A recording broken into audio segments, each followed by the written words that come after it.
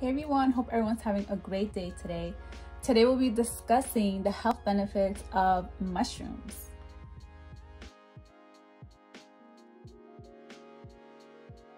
Don't forget to subscribe, like it, share it, comment, love it.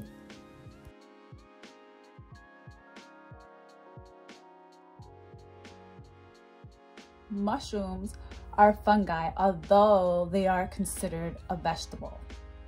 Mushrooms are superfood and have been used for culinary and medicinal purposes for thousands of years. There are around 2,000 edible varieties of mushrooms. Mushrooms are a great meat replacement due to its umami flavor. Mushrooms are packed with antioxidants. Mushrooms may also have anti-inflammatory and anti-cancer properties. Mushrooms contain essential vitamins and minerals such as selenium, phosphorus, copper, beta-glucans, potassium, B vitamins, vitamin C, and vitamin D.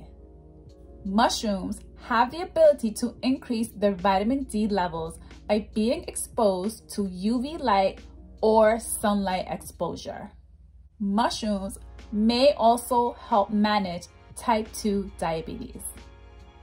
Due to mushrooms' fiber content, it may help reduce the blood glucose levels.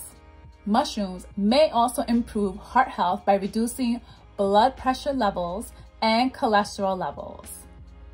Studies have shown that consuming mushrooms may reduce cholesterol levels.